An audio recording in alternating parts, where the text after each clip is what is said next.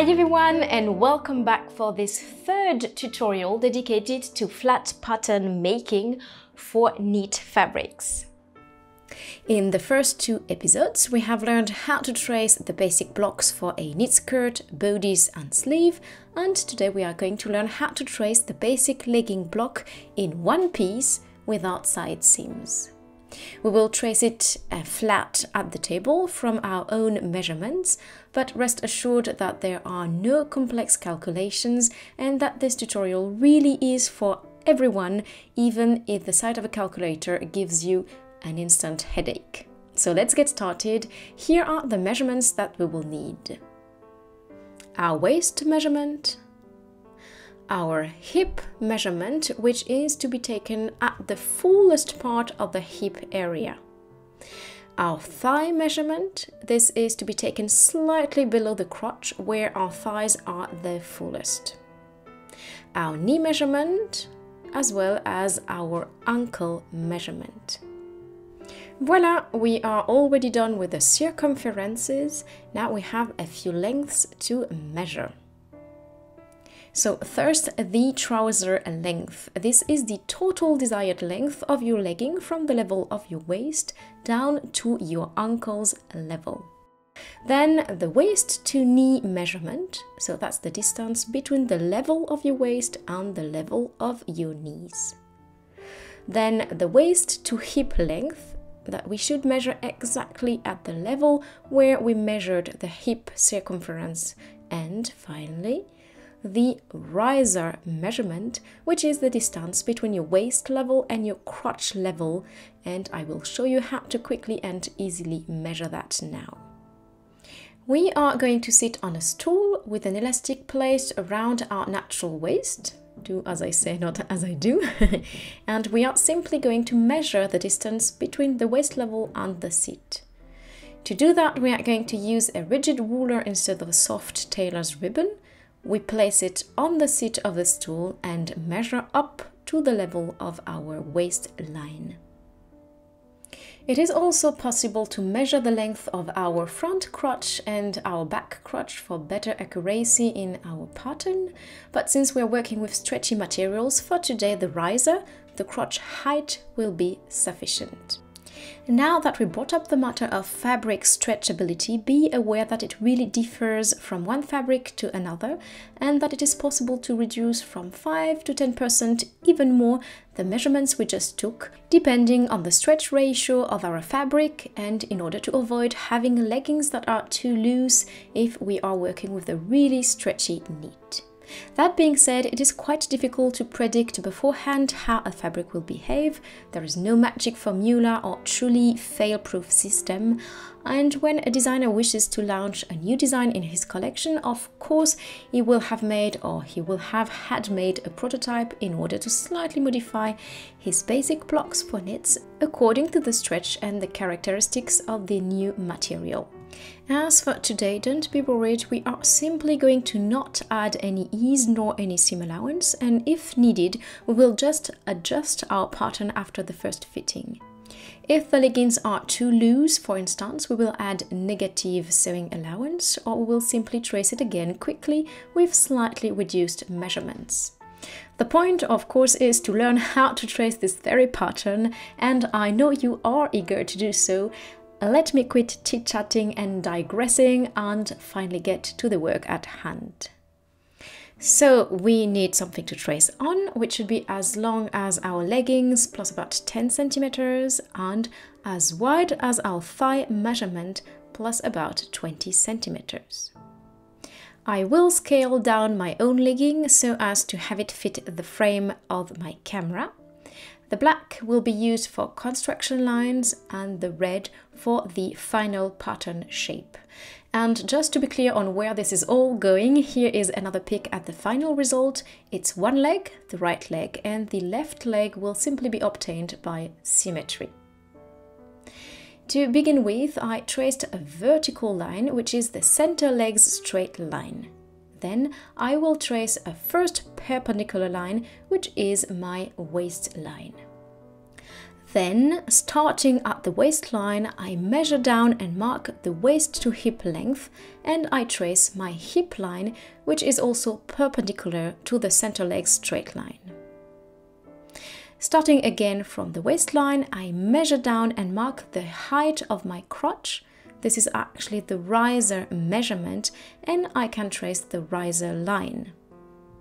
Now again, same thing to mark the waist to knee measurement and to trace the knee line, and for the waist to ankle measurement, which is the full desired trousers length from your waist down to your ankles or to your calves if you wish a shorter legging, of course. Voila, to sum up, we have traced the center leg straight line, which corresponds to the side of your legs, as well as the waistline.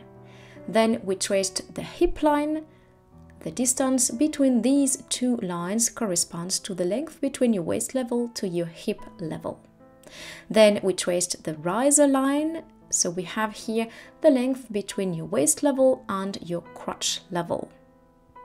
Then we indicated our knee line according to the distance between your waist level and your knee level. And finally, we traced our ankle line with here the full desired length of the leggings from the waist down to the ankles. On this side, we are going to trace the front and here the back of our leg. Let's start by tracing the bottom of the leggings. I am just going to quickly make a close-up of the ankle and knee lines. Ta-da! Here is my ankle line and knee line. From the center line, I measure and mark on the front side half of my ankle measurement and also half of my ankle measurement on the back side. So here we have half of the ankle circumference and here is the other half. Please don't look at my ruler's measurements, I am tracing a tiny pattern. The whole ankle circumference is equally distributed on both sides of the center straight line. We are now going to do exactly the same on the knee line.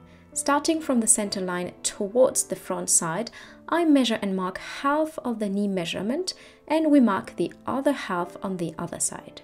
So here we have the circumference of our knee divided by 2 and here as well. The full circumference of our knee is equally distributed on both sides of the center straight line.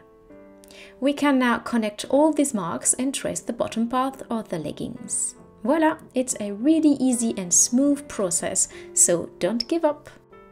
The bottom of the legging is done, you can allow yourself a little break, a little piece of chocolate maybe, and it is time to focus on the top part. Quick reminder, this is the waistline, the hip line and the riser line. On the waistline, from the center line, I measure and mark a quarter of my waist measurement and then add 1 centimeter. On the back side, I measure a quarter of my waist measurement and subtract 1 centimeter. So here I divide my waist measurement by 4 and then I add 1 centimeter and for the back I divide my waist measurement by 4 and then I subtract one centimeter, the one centimeter that the front just stole purely for aesthetic reasons as we already learned in the first episode of this series. We are going to rise this point from 2 or even 2.5 centimeters if you feel like you need a little bit more space to accommodate your behinds and it is now possible to connect these two points with a curve. And if you don't have one, you'll find a link to this curve down below. I will do my best to use it now for this teeny tiny pattern, but obviously the curve is made for a proper full-scale pattern. Alright, on the hip line now we have a quarter of the hip measurement for the front and the same for the back. You can also add another 0.25 centimeter for the front and subtract it to the back, but it isn't compulsory. Voila, the same way we did before, let's connect all the dots with a straight ruler. We are done with the top of the legging as well as the bottom part. Now let's focus on the best part, the crotch area. To do that, we are going to trace two perpendicular lines in order to transfer the marks from the hip line onto the riser line. These are construction lines, they are not the final shape of our pattern piece, or else, trust me, we could not fit in. Now, from this point on the riser line, we will need to distribute between the front and the back of our leg, what is called the crotch amount. And I will show you now how to calculate this crotch amount. Nothing complicated here, but pay close attention and if needed, don't hesitate to pause the video. The calculation is as follow. The thigh measurement minus the hip, not hips, I'm sorry, measurement divided by 2. If, for example, our thigh measurement is 60 centimeter and our hip measurement is 110 centimeters, that's about a size 46 EU or 16 in the US, we will have our thigh measurement, which is 60 in our example, minus our hip measurement divided by 2. So here it's 110 divided by 2, which makes 60 minus 55 equals 5 centimeters of crotch amount. You can find a higher number. For me, for instance, it's about 9 centimeters, but you can also easily find a lower number, even something very close from zero, if, let's say, you have really thin legs compared to your hip and belly. This crotch amount needs to be distributed between the front and the back of the leg to create the front and the back crotch shape. But how? It all depends on your own unique and amazing body shape and on how the volumes belly slash behinds are distributed.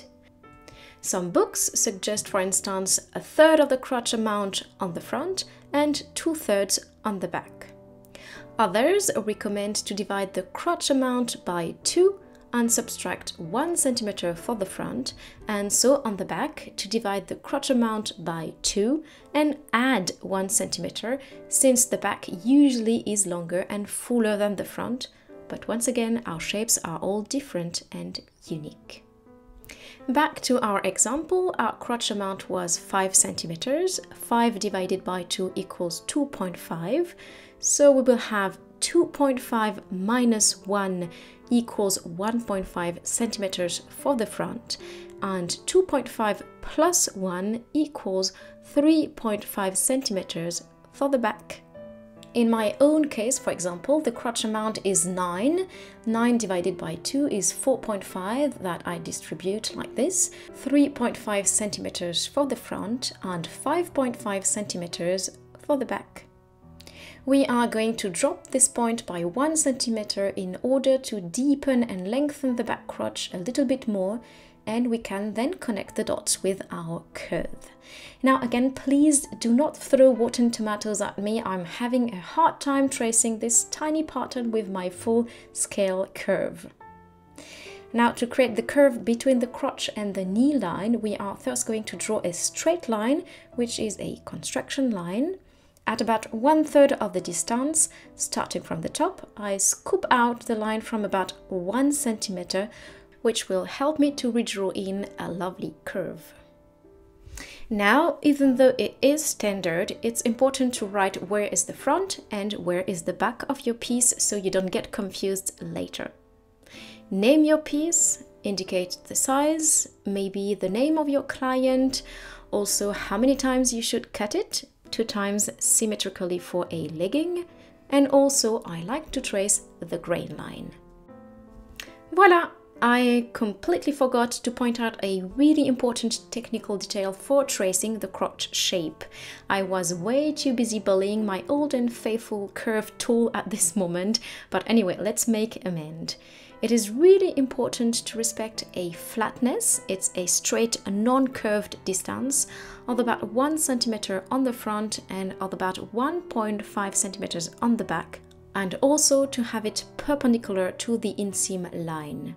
This will allow better connection of the front and the back when sewing them together.